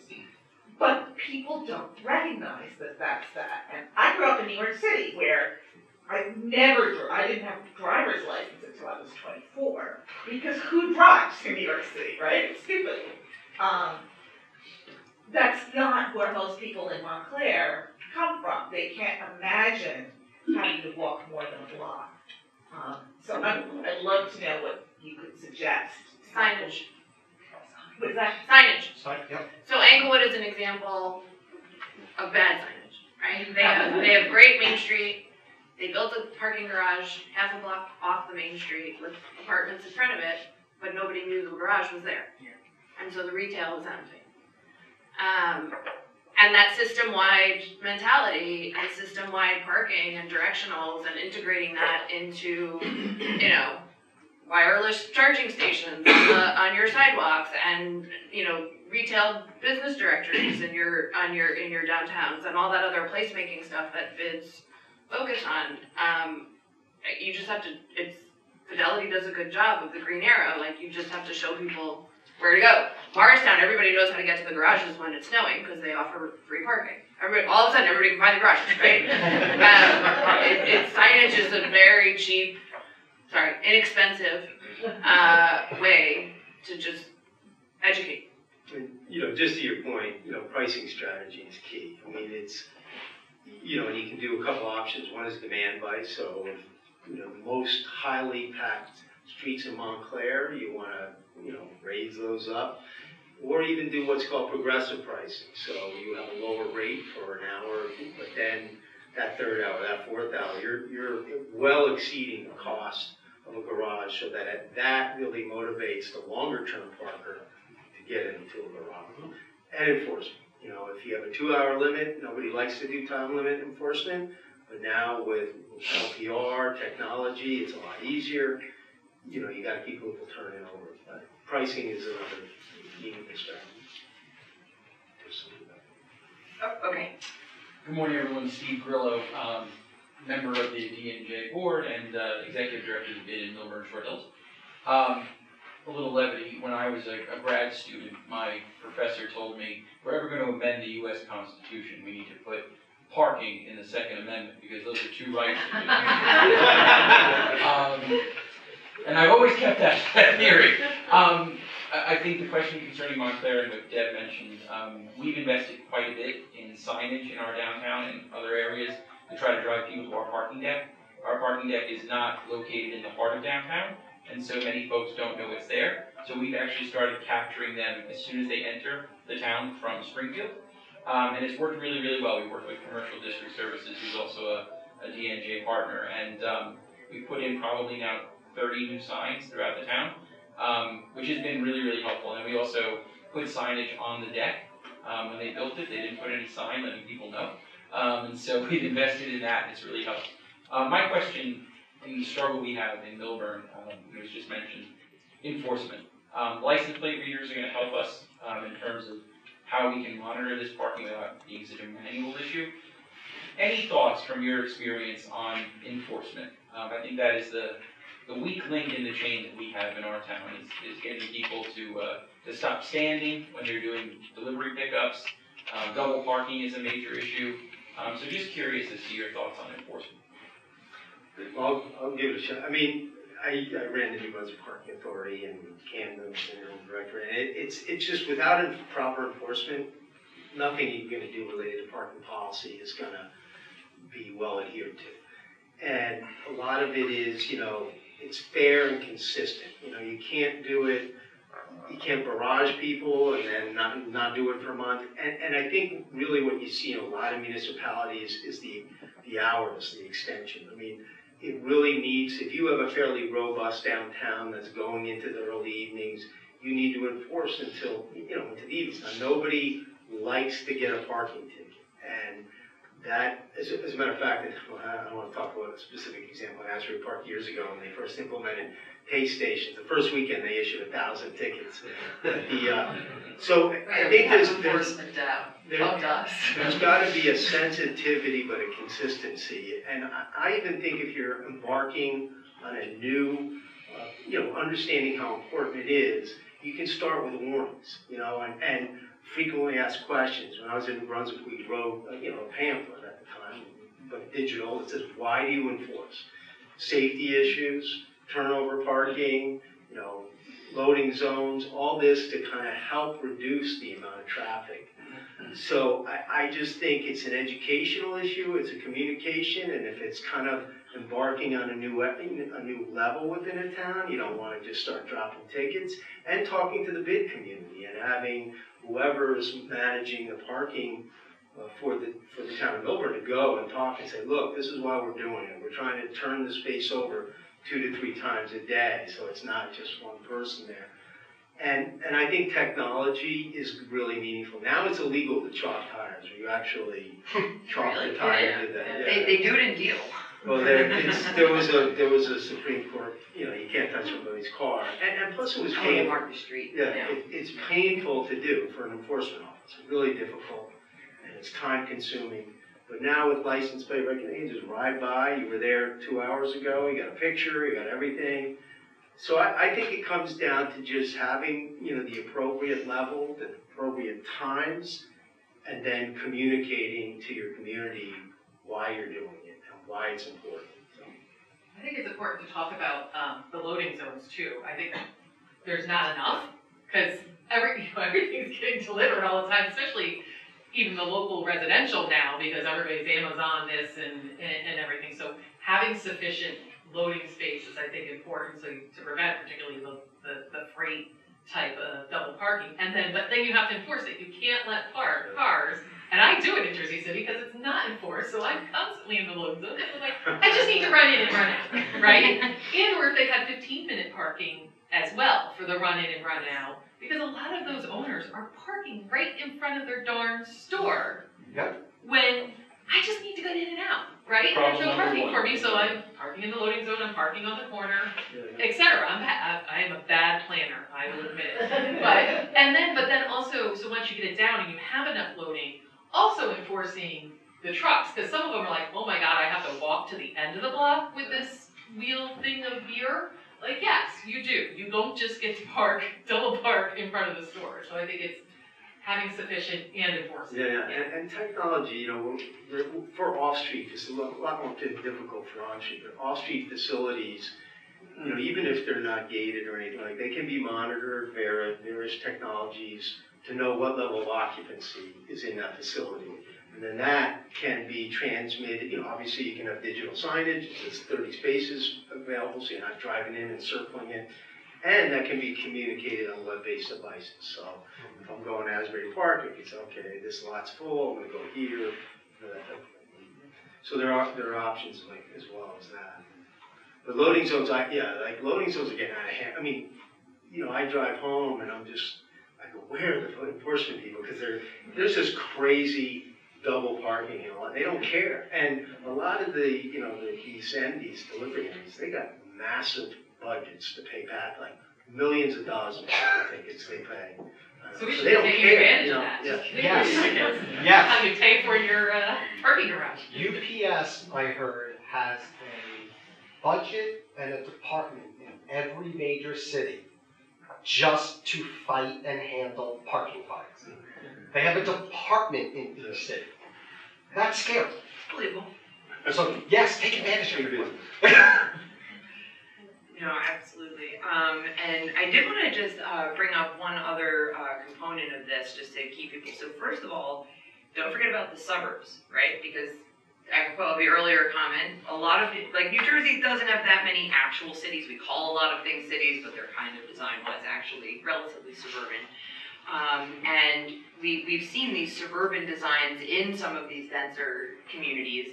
And so I would love to hear from uh, this group a little bit about the interplay between the, the design and uh, the, the communities that are building these and how those, how that's like a uh, symbiotic relationship, right? Um, so working with the community to make sure that they're open to these things or having communities feel more comfortable pushing back on a ShopRite uh, who wants to put uh, their grocery store near a bus stop, but perhaps a quarter mile of parking lot between them and that bus stop instead of uh, less parking and perhaps in the back. Or that was just a random example from my career, but um, but yeah. So the design part has a piece of it. and I'd love to hear a little more about that.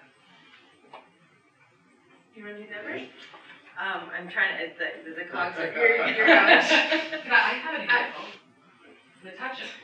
The Whole Foods was built. Um, it's just outside of the downtown proper, um, Main Street.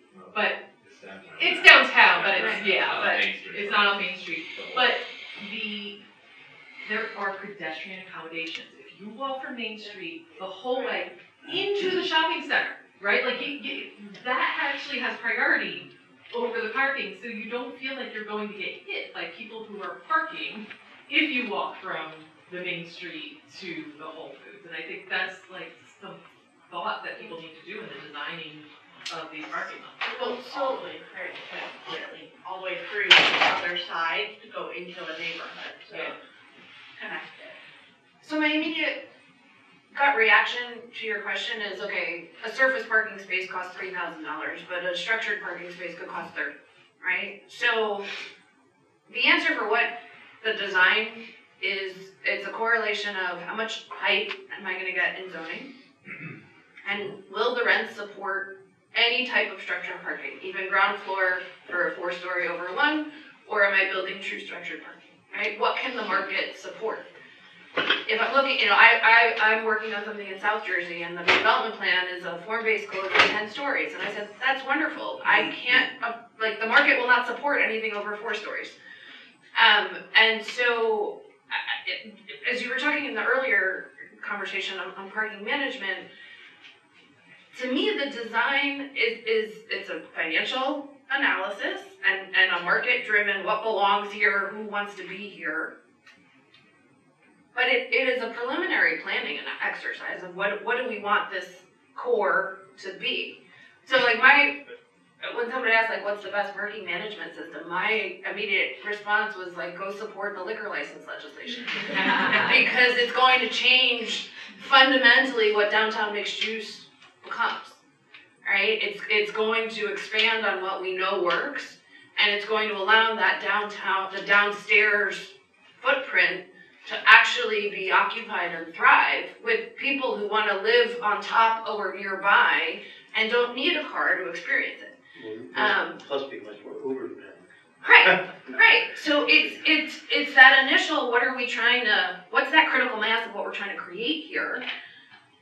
And then it's what can I afford to build here? And then it's and then it's a zoning fight with the town on how many on how much stories and how much density because I you can't fit it all. I just sat with a town who has a municipal parking lot at their train station. They want to redevelop it. They have 250 parking spaces.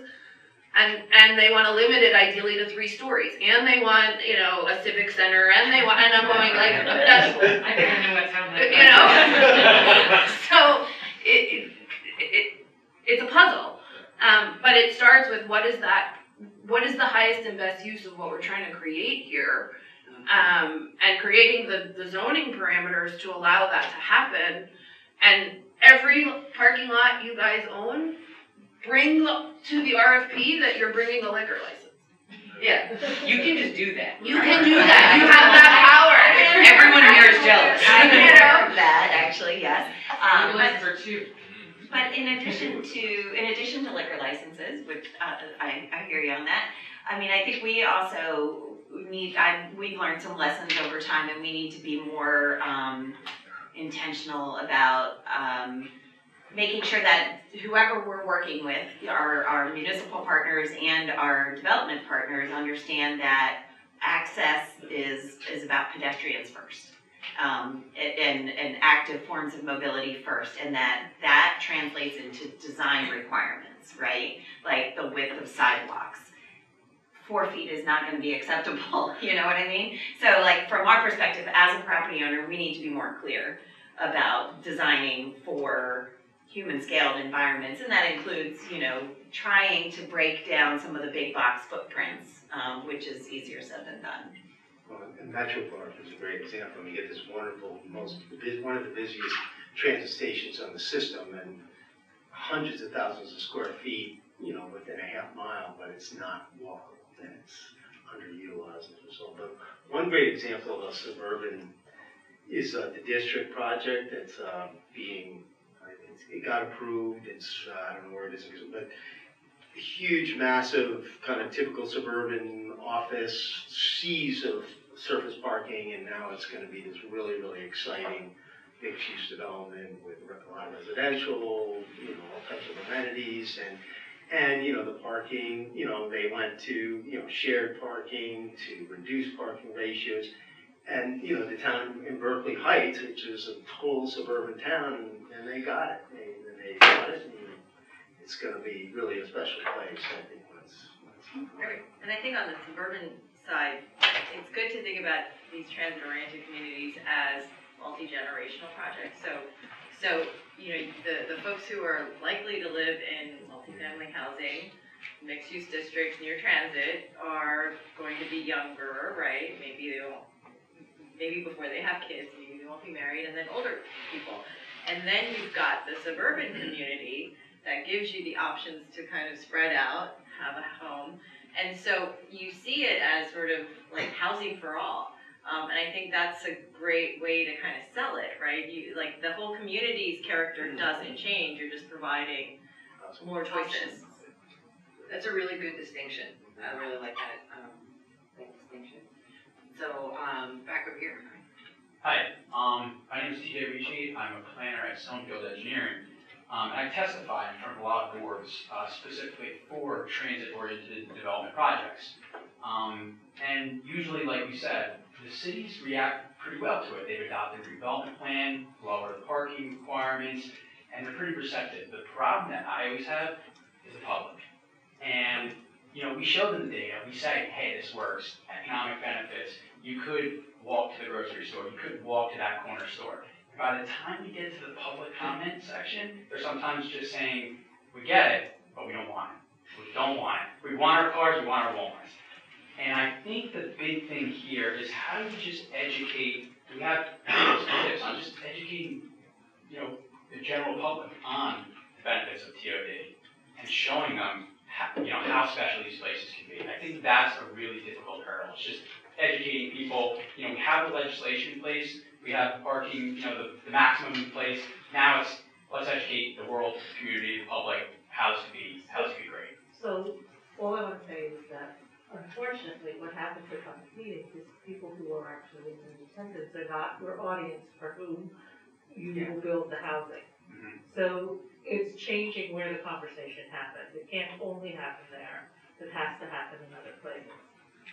And, and that's a, that's a much harder thing to do, and it's a thing that we all want to do it. But, you know, that is sort of an endemic problem with the public, the engagement process with the public. I would, I would just add to that a couple, like Metuchen, uh, you know, we worked on that project. Uh, Westfield, I think, is, you need to have advocates as well. For every person that speaks against it, then you find someone who speak for it. And I've, I've just seen that work wonders with us council people sit there, that makes their e- decision that much easier. And, and it can't be the developer who's trying to con- educate and convince the municipality. The conversation has to happen before the redevelopment plan is adopted, right? Um, and think of how many towns held forums trying to explain what a tax abatement was and why PILOTs work and are necessary, right? It's the same educational process.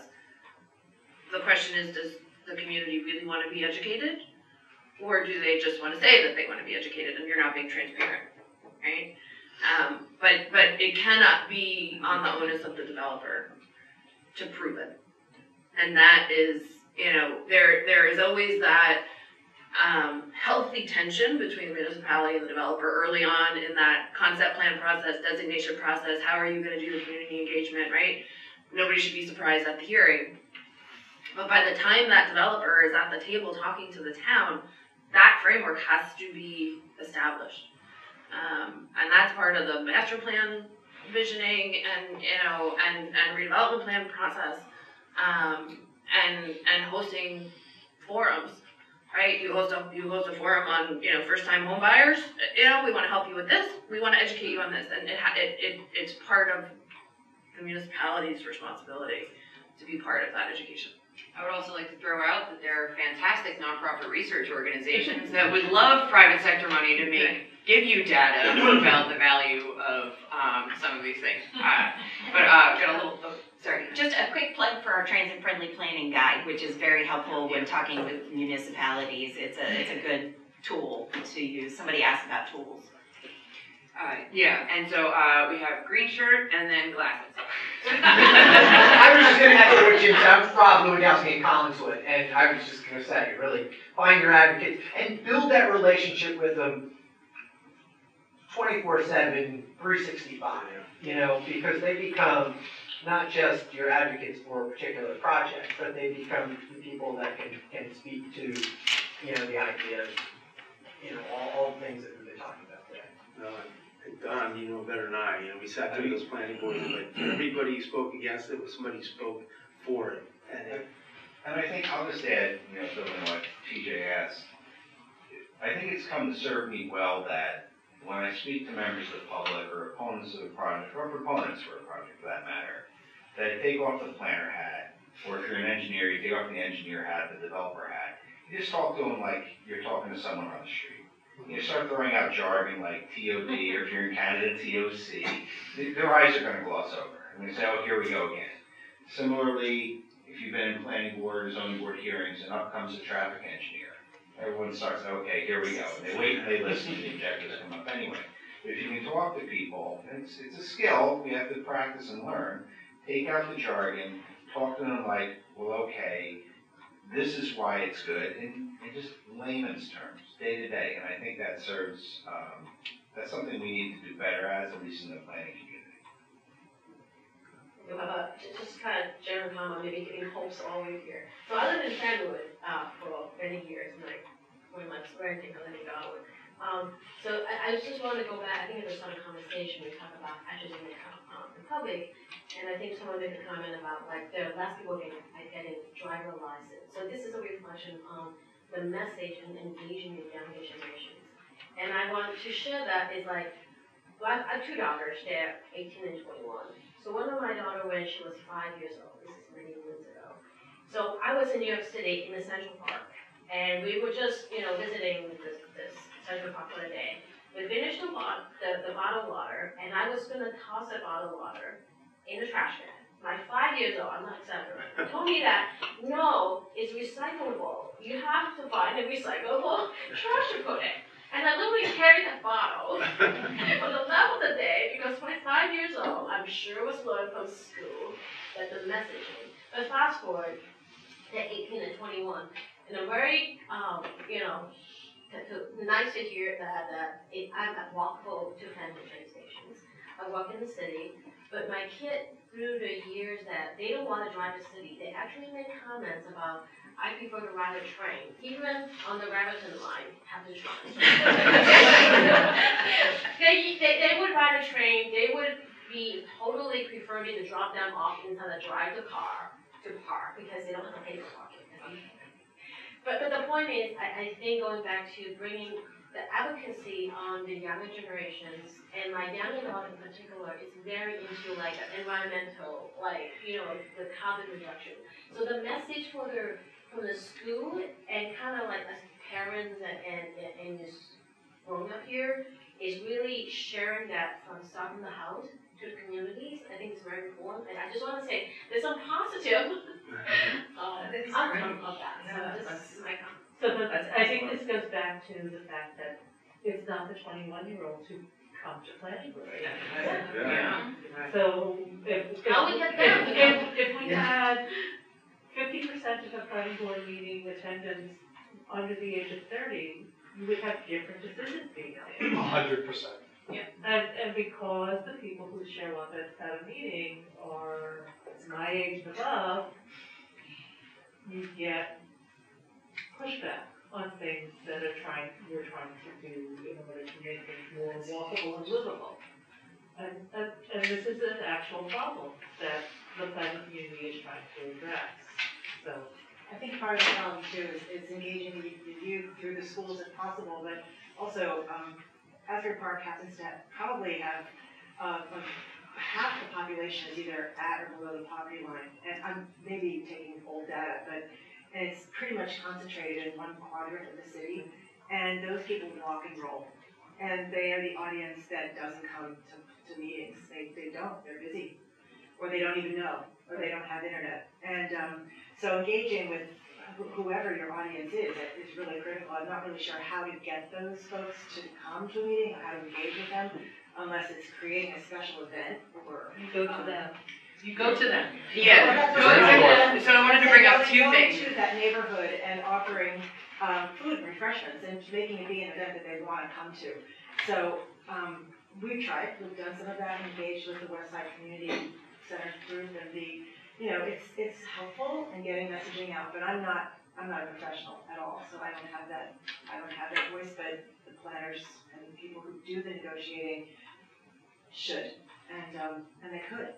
A well, tiny town like it, for sure. No, that's great. I, I want to just add one thing because of the organization you represent today, um, and to tie it to your comment about um, young kids leading it, right? Because I think a lot of people in this room have that experience. Safe Routes to School is a great program, and it really does instill those types of values because I don't know about anyone else in the room, but like I lived in New York for a long time, and when I have suburban friends come over, they're like, "Wait, we're walking how far?" I'm like, "We are not driving a mile down the street right now. That is not happening. I'm sorry, even if it's raining." But then my friends from the city would come and they're like, oh, nothing. Like, you know, wasn't it? And it's such a cultural thing. And um, so I think that that kind of programming with youth is easier in, in some communities to kind of push forward. And then separately, I do want to add one thing I thought that was beautiful with um, Newark's most recent master plan uh, redesign process. They had a lot of success with Facebook Live. And I thought that was really interesting because people were joining from their phones.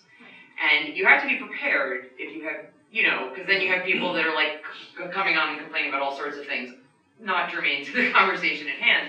But I think that it, it is it is trickier, but I think that there are tools that we can do through having conversations like this.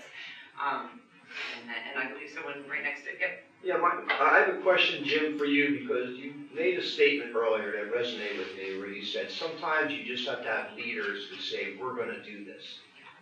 And what do you do when you don't? Because you do not in Asbury Park. And you've been there ten years.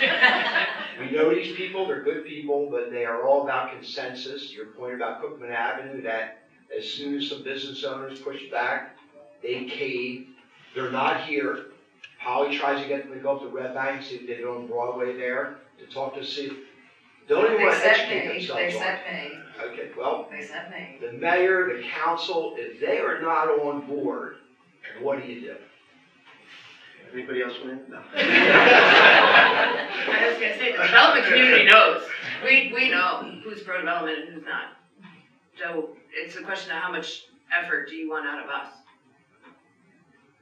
Yeah, it's a very, it's a very challenging, you know, like, like Deb said, you know, developers are gonna make selections of where they go based on what they know. You know, support they're gonna get, the professional planning, you know, support they're gonna get, so. Uh, it's a really tough question, and, and you know, like, you know, New Jersey, and I'm not an expert by any means, have so many different forms of government. Some are rotating mayors where nobody really wants to make a tough decision. Um, but it's, I, I, I don't know that I have an answer for you, to be honest with you, but I can just, you know, I'll just, you know, we worked recently with Westfield, which, you know, I won't use the word transformative, because we talked about it, but the, you know, just as, you know, a major accomplishment, and a lot of it was just because the mayor said, you know, this is the right thing, and not, not that it was her, like, she did a lot of, you know, due diligence and education and financial analysis and had all the right people around her, but, you know, she never wavered. And as a result, you know, this plan got through, which was, you know, very, very significant. So, But, so I don't, I don't know what to, how to really clearly respond to that, other than, you know, whatever community interaction or, or, or people within the community that want the same thing and, you know, I guess advocate. That's probably- Again, it's a little bit outside my realm. Yeah.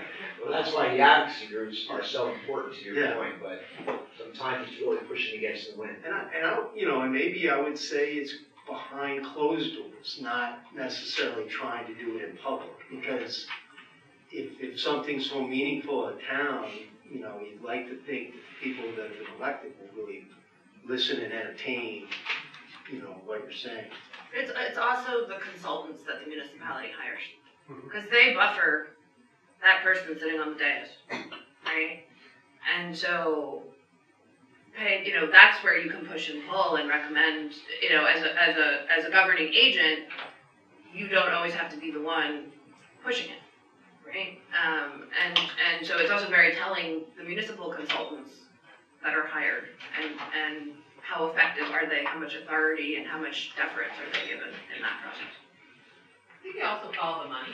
I think there has been a shift with the way the money's coming down from the feds, from the state, et cetera. I think we're gonna start to see the political shift, because it's not gonna be, we're not giving you money to just resurface a road, we're giving you safe routes to school money, we're giving you, so I'm hoping that will also, because money, money means a lot, right? Um, and that's where the money is now, it's in, in the safety, the transit, the, the TOD, so hopefully. And while we have somebody from the state here, although I know you're not representing the state, there is a state-owned parking lot right in the middle of downtown Asbury Park. And we need to get the state to have a dialogue with us about sharing parking and everything else you're talking about, because that lot is just sitting there and nobody works in that state building across the street. I've, I've investigated the whole thing. I know what's going on. So will you have somebody call me? Uh, sure. No, I, I, I emailed the, uh, I don't know. Treasury does, owns all the property for the state or something. I've emailed. What, what fill, what who was the previous use of the building? Excuse me? Who used it? Who was the actual user? The user building? is the state. No, Um, what- oh, uh, what- DYFS and, um, DCA used to be there. uh, not DCA anymore, DYFS and, uh, I have it in my office. Okay. DYFS and like the public defender maybe, I don't know. Okay, I was just wondering, because that would be where I would start to No, find no. out. I know treasury, but treasury is not gonna care about what the property is. Nobody in the state cares. If you know somebody who might care. You need to I- find out who why don't actually you, the um, owner, talk to the Ben? user. Talk to Senator Paul. Yeah. He'll give you the contact that was the right person. He'll, his folks will help you set that out. I don't Um, wanna take everybody's time again. Just for the record, every state legislator, here's the formula. If it's uh, someone identifying as male, it is ASM, last name, or SEN, last name. Or if it's a female, ASW, last name, at njleg.org. Oh. That's the formula for email address, but all of these offices, they can be very helpful with those types of contacts. um, So, yeah. What's up? Uh, yeah, so, uh, just really quick, any very quick last thoughts from our panel? All right, well, thank you guys so much. Um, this was, this was really great, and I- it seems like we made some good connections in the room, and I hope that we keep doing that and exchange some information after.